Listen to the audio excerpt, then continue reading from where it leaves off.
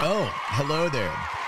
Welcome to the internet's longest lasting, awesome internet Star Citizen review that's been around since the very beginning of time, following the development of Star Citizen. If you're watching on YouTube, definitely push the like button, subscribe, and get your butts over here live for a good time. If you can't, it's okay. That's why I do this. Now, it looks like we're going to be talking about the, the label. The title of this one is called the H2O Show. We just talked about physics, water physics in Unreal Engine.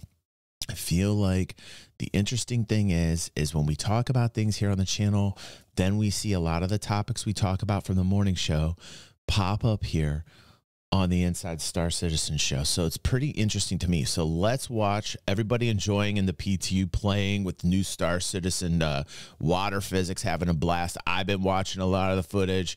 I'm really happy on where we're going here. Obviously, people complaining about, oh my God, it's like, you know, the performance and everything. And let's put things in, in a frame of mind here. We're talking about PTU experiences, okay? So like there's a lot of people bitching out there about the about the performance. And it's like, okay, it's PTU, guys. Okay, it's PTU. You know what I mean? Alpha 323 is just around the corner, and with that, a host of new gameplay and general life in the verse features. But it also includes a variety of technological improvements like the replication layer split, our initial implementation of Vulkan, image upscaling breakthroughs, and the subject of this week's show, changes to the water rendering and simulation system that were first discussed at last year's CitizenCon. So here now are the water wizards themselves to tell us more. You, you've been doing this for a while now. Why do you think people are so interested in water? in just any scenario is such a focal point. Go I mean, there's so many punchlines to that, but we're just gonna we're just gonna bypass to a national park, you go see the rivers and the waterfalls. You're looking up stock photos of anything. It's people focus on the water because it is just so different to kind of anything else you find in nature. Like everything's unique and everything's different, but water is What's up, Puma? just How you doing, man? Welcome back entirely. home. Wow, you're making me sound like I'm a water cult or something. When you came aboard, did you imagine you'd be the voice master? I still For don't refer Eric, to myself as that name. Try as you might, Jared. Uh, Hydro homie? Uh, I guess I didn't see it being such a focus, but I'm glad that it is. It's good fun. I really like it. It's not all water. Water's just the nice things I get to talk about more. And this dude was in charge of rivers essentially over what was it, a year and a half ago, talking about rivers when when that wasn't a thing, you know. So it's it's it's quite interesting to see he's sticking with water. So good on him.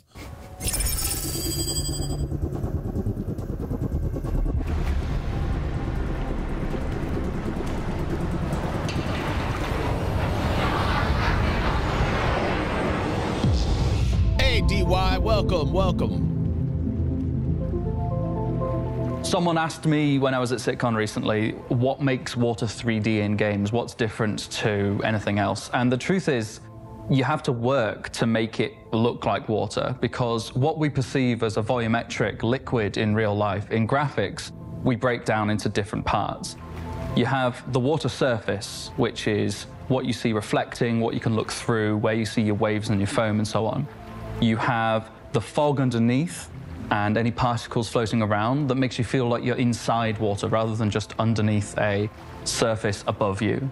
And then you have all the effects that go to selling that, whether it be the lighting, the caustics, the boundary when it's intersecting your visor, or any of the splashes or simulation that we're going to move on to. All right, cool. I'm So we showed a slice of what we've been doing with water at CitCon last year, and what we put out into 323 is a few steps ahead of that. So we're going to show you what we've been able to do since.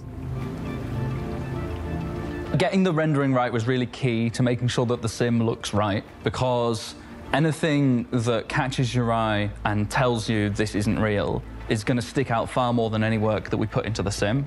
It has to be said that the way we've entered water in the past in Star Citizen was not really up to scratch. So we have spent a lot of time trying to make it a lot more realistic. Water is quite an interesting thing to render. It has very complex form in its dynamics and it, the way it animates, but optically it's very interesting Yes. too. In some ways, water is like Yes, glass. It's transparent, it refracts and distorts light which passes through it. And it also has a surface which reflects the environment around it. Beautiful. In some ways, water is also like fog. It obscures the background behind it, maybe completely obscuring it. And certainly impure water will have suspended particles which themselves reflect light and give the water a cloudy hue. The water surface may feature foam, uh, certainly where uh, waves are occurring or at shorelines. One thing we wanted to do was improve the way we render foam on the ocean surface. Um, this involved having it show detail when viewed close up, and also having it disperse in a very naturalistic way, where the foam breaks apart into small patches and the bubbles dissipate. One thing we did to get the details on the close-up views of foam is photograph a pan of soapy water. This gave us the required detail to project onto the foam surface and give the look we wanted. It's a texture. It's nice to think that all of the foam you see on any ocean in the verse They're going to have to work on blending. They're going to have to work on the areas that are clipping from from land to water. So that's something that's interesting. That's different from Unreal Engine and what we were looking at with water physics. Water physics with Unreal Engine. They're going to have to look at the actual physics in terms of mechanics when talking about swimming and buoyancy. These are things also that that um, they'll continue to work on. So if you're a little bit worried about that, uh, this is basically you know going to be continue to be developed as time moves forward. So this is something that, that will continually be improved. You know, there's a lot of people that were kind of poo-pooing water uh, in Star Citizen, and there was a lot of people comparing it to what we saw in the Unreal Engine, which was phenomenal as well. Um, I'm happy with what I see here. I like what Star Engine's doing.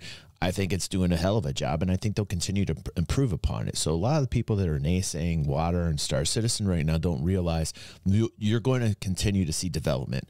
Uh, and and and I think that a lot of people yelling about that right now really don't understand game development. started its life in a, a soapy pan of water in my kitchen. In Star Citizen, players can enter the water. This means they can view the water from underneath the surface. Right, right. So we spent lots of time making sure underwater views look correct, showing fogging and so on. Similarly, when the player enters the water, the water line may cut across the player's visor, and we took a lot of time getting that to render correctly and show as expected. I really think the improvements that have gone into the rendering of the water, especially the surface, the fog, it's leaps and bounds ahead of what was in 322. So from rendering, let's move on to surface simulation. This this is fantastic. What we wanted to do was provide some next level visuals to go with all the things that can interact with water in our game. With the nature of the sandbox universe, there's just so many ways you can interact with it. And with all our spaceships and the colossal thrusters and wakes they can throw off, we really wanted to be able to match that with the water rendering. The way we decided to approach this, instead of having a square that follows the camera like many games do of water simulation, Yeah, it's we wanted great. to have something more powerful than this. We wanted you to be able to It's already looking great. Like just in its baby phase right here, it's already looking fantastic. I can't even imagine another year or two now as they continue to develop this what what this is going to look what like. Uh, at times, the photorealism is like off the wall, insane. stand at the top of a mountain and watch a ship fly across a lake underneath, drawing Not only just fly uh, across the lake, but float. Like for instance, a lot of uh, a lot of ships we want to be to float to be uh, for for level buoyancy, especially the 890. Other ships, most origin ships, like that yacht vibe where you're landing down on a lake or, or an ocean. Um, you you want the buoyancy for sure. I mean, you really do. Also, we were talking about ships that were able to go underwater as well. That would be awesome. You know, that's a whole nother layer we could talk about. In the wake behind it. And you wouldn't get that with a fixed right square fingers. around I do, the buddy. Good to see fingers. So the approach we took was something called region-based surface simulation. This allows us to allocate areas where we need to be simulating and propagating Fantastic. water waves at any given moment, regardless of where the camera is. We can allocate and deallocate these as we need, and we can have a pool of them of any size depending on the spec of your PC. You can actually change the maximum allowed regions in your graphics options. Nice.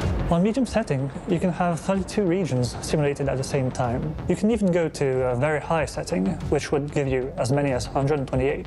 To choose Okay, that's everything that I want in a PC that I one day will build. Uh, and I can only um, hope that one day I will be, have the ability to do that. Please, sweet baby Jesus. Yes, sir. You're gonna eat me.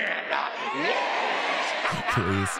Oh, I, I gotta figure out this car situation, but you know, we'll just. It's always the next thing. It's okay. It's okay. The best regions, we try to have uh, the closest and most important ones show up and call the other ones. The fact that we sort it by the number of interaction and how strong they are means that only the most important ones will be shown on screen, which helps because um, having a little uh, interaction right in front of you could be useful, but it might not be visible when there's a very big ship going right by and creating a huge wave. Sounds like you've built a very efficient system then. Uh, we've tried to build a very efficient system. In order to interact with things That's- that are in the water, we fantastic. first need to know that they are there. So cool. We've hooked up to the physics system so it sends us events when physical objects like boxes or the player or bits of ship debris are in or floating in the water. From there, we can work out how much water has been displaced and the velocity and pick an appropriate simulation wave Wait, wait, wait, wait. What's this? What's this? Wait, wait, wait, wait, wait a second. What's this? Objects like boxes or the player or bits of ship debris are in or floating in the water. From there, we can work out how much water has been displaced and the velocity and pick an appropriate simulation Hold, hold on a second. Hold on a second.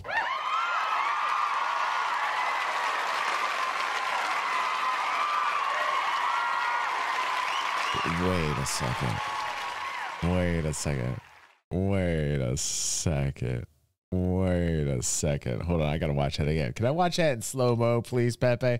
Can we get that slow mo for us? water. From there, we can Wait, just I, I'm feeling it. Hold on. I just like got to start right or the around player here, or bits of ship right debris are in or floating in the water. From there, Okay, here we go. Slow mo for me. Just slow mo this. Oh my god, this is beautiful. Uh, we can work out how much water's been displaced and the velocity. pick That's fantastic. Man. That's fantastic.